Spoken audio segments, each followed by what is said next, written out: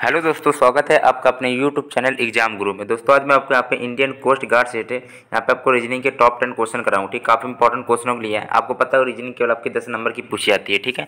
यहाँ पे रीजनिंग के दस क्वेश्चन लिए तो अच्छे तरीके को देखिएगा।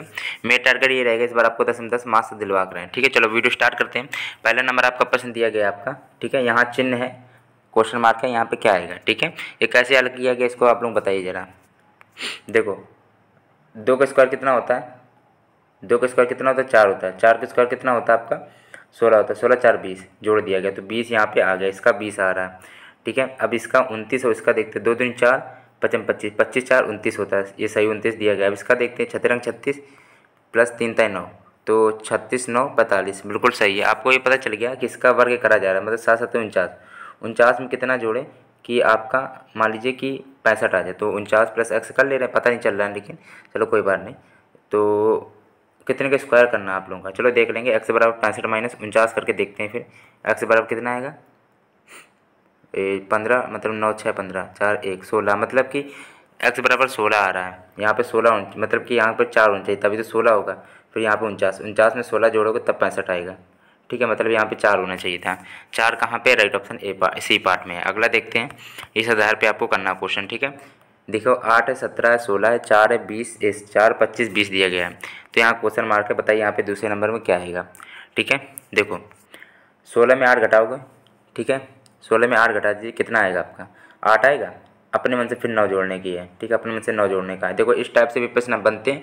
देखो, मैं आपको सारे टाइप के प्रश्न कराऊँ क्योंकि मेरा टारगेट ये रहेगा, इस बार आपको दस में दस मार्क्स दिलवा कर रहे हैं ठीक है? तो सोलह में आठ घटाओ तो आठ आएगा प्लस में नौ जोड़ दिया अपने मन से। बीस में चार घटाओगे तो कितना आएगा? सोलह आएगा अपने मन से नौ जोड़ दीजिए, पच्चीस आएगा। ठीक है? अब ये है कि अब आपको इसमें कितना घटाना है? अब ये भी है कि आपको इसमें मान लीजिए यहाँ पे यहाँ पे वैसे तो पंद्रह आएगा, ठीक है? राइट ऑप्शन मैंने बता दिया। पंद्रह में जैसे कि आप लोग आठ घटाओगे तो सात आए सोलह, ए, आपको फिर सोलह में सात जोड़ो कितना आएगा? मतलब कि आपको नौ जोड़ना था। नौ, सात, सोलह, जो कि आप सोलह दिख रहा है। मतलब यहाँ पे कितना होना चाहिए आपका? पंद्रह होना चाहिए। ठीक है? समझ गए होंगे। राइट ऑप्शन पंद्रह है। अगला देखते हैं डी पार्ट है। अगला देखते हैं ये किस टाइप से प्रश्न बन रहा है, आपने यहाँ पर टाइप देख लीजिएगा, ठीक है? इससे कठिन आपका पेपर नहीं आएगा, ठीक है? आठ का ये सत्ताईस है, चौंसठ है, एक सौ पच्चीस, समझ गए होंगे ये किसका चल रहा है सिस्टम देखो, यहाँ पर दो का क्यूब है, ये तीन का क्यूब है, ये चार का क्यूब है, आराम समझते रहिए, ये पाँच का क्यूब है छः का क्यूब है, ठीक है? अब ये सात का क्यूब होगा। सात का क्यूब दोस्तों कितना होता है? सताई का होता है, इक्कीस गुड़े सात, पता होगा तीन सौ तैंतालीस होता है, कर दे रहे हैं, ठीक है? तीन सौ तैंतालीस सी ऑप्शन राइट है।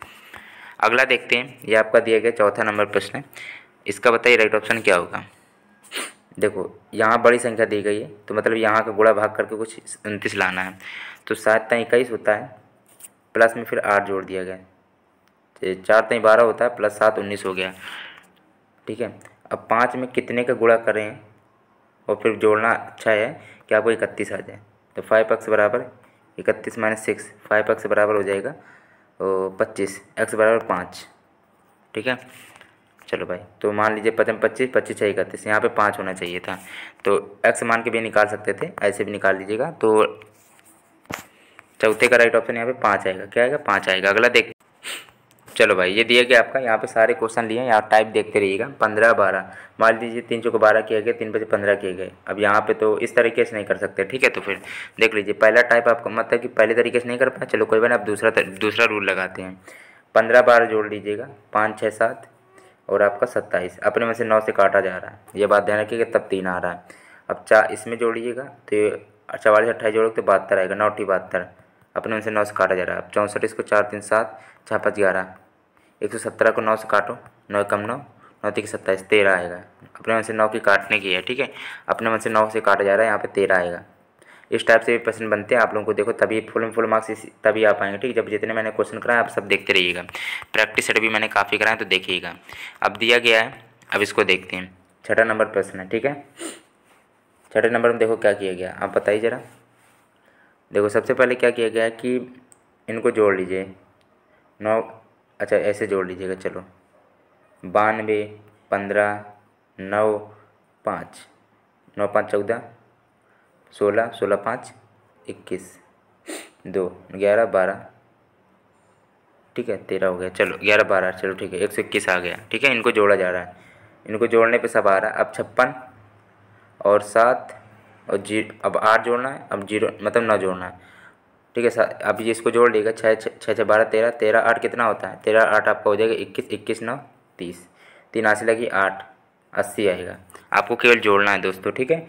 इन सबको प्लस करना है, क्योंकि छोटी संख्या थी, ज़्यादा ये संख्या बड़ी नहीं अगर काफ़ी होती, पाँच छः सौ होती तो मतलब बुरा भाग से आता है गुड़ा से होता है। तो वैसे जोड़ने से ये आ रही ठीक है? छः का, यहाँ पे हो जाएगा आपका बी पार्ट छठवें का बी पार्ट राइट है। अगला देखते हैं, सातवें नंबर में देखो क्या है? तो अठारह पंच अठारह दिन छत्तीस है। अठारह पंच नब्बे, दो का गुड़ा हुआ पाँच का गुड़ा तेरह दून छब्बीस, तेरह पच्चीस पैंसठ। अब किसका गुड़ा पंद्रह दिन तीस? दो गुड़ा करना, पंद्रह पाँच, पंद्रह पच्चीस पचहत्तर, यहाँ पे दो गुड़ा करना था। देख रहे होंगे, एक बार दुला, दो का गुड़ा हो रहा है, एक बार पाँच का। यहाँ पे पंद्रह पच्चीस पचहत्तर हो गया, लेकिन पंद्रह दूनी तीस नहीं हुआ था। दो से नहीं किया गया, पंद्रह दूनी तीस राइट ऑप्शन है। ठीक है? अब अगला देखते हैं। ये देखो, लिखा है आपका इक्कीस, दस, नहीं आएगा इससे। चलो, तीन दूनी छः ऐसे करके देखते हैं, सात पन्ना पैंतीस, ऐसे भी नहीं आएगा। चलो तो भाई ये देखो किस पैटर्न पे आएगा। देखो सभी टाइप आप लगा के देखिएगा, जल्दी जल्दी करिएगा। देखो, सात दूनी चौदह चौदह पंत, ये देखो सात दूनी चौदह होता है और पंद्रह, चौदह उन्नीस, चौदह पंद्रह कितना हो जाएगा? उनतीस हो जाएगा। आप समझ गए होंगे गुड़ा चल रहा केवल और जोड़ देना केवल। छः चौक चौबीस पाँच पंद्रह। चौबीस, पंद्रह, पाँच चार नौ, तीन। ठीक है, देख रहे होंगे आमने सामने आमने सामने गुड़ा भाग गुड़ा गुड़ा केवल हो रहा है छः पंच तीस और सात है इक्कीस। और प्लस हो रहा है फिर, ठीक है? तो एक, तीन, दो, पाँच, इक्यावन आएगा। इक्यावन किसमें? जो कि बी ऑप्शन पे मैच कर रहा है। बी ऑप्शन राइट है। अगला देखते हैं। इकतालीस, पाँच, तीन, चार, जो दिया गया आपका। ये बड़ी संख्या यहाँ दी गई है। मतलब यहाँ पे कूड़ा भाग इनको ऐसे ऐसे करने पर आपको अंठावन, पिचासी ये सब लाना है। नवा नंबर प्रश्न है। देखो, आपको किस तरह देखो, इस तरीके से कर लेना आप लोग। पाँच तई पंद्रह, ठीक है? इस पैटर्न पर आप मत करिएगा। पाँच के बीस चलो भाई, इस आधार इस आधार पे कर लो लोग देखो कैसे करना है, इसका तरीका समझ लो। यहाँ पे जैसे कि मान लीजिए लिखा आपका, देखो, फोर वन लिखा है, इसको इसको ले सकते हो? Four minus one.